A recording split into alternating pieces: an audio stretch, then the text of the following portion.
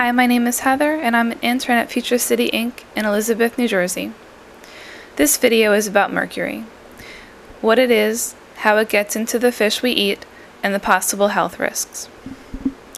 Mercury is a naturally occurring element found in the air, water, and soil.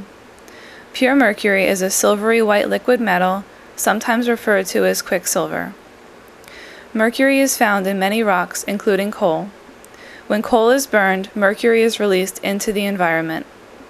Coal burning power plants are the largest human caused source of mercury emissions to the air in the United States. Burning hazardous wastes, producing chlorine, breaking mercury products, and spilling mercury can also release it into the environment.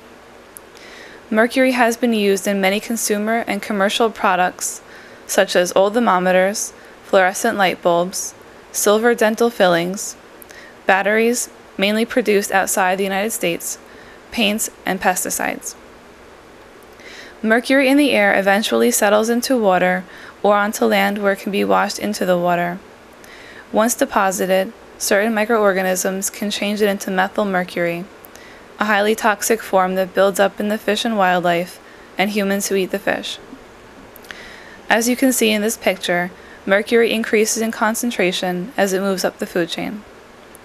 Shrimp, canned light tuna, salmon, pollock, and catfish are generally low in mercury. Albacore, or white tuna, is higher in mercury and should be eaten less often.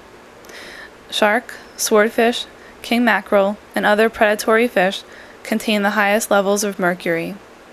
Women who are pregnant, nursing, or want to become pregnant, as well as children, should be especially cautious when eating fish and shellfish.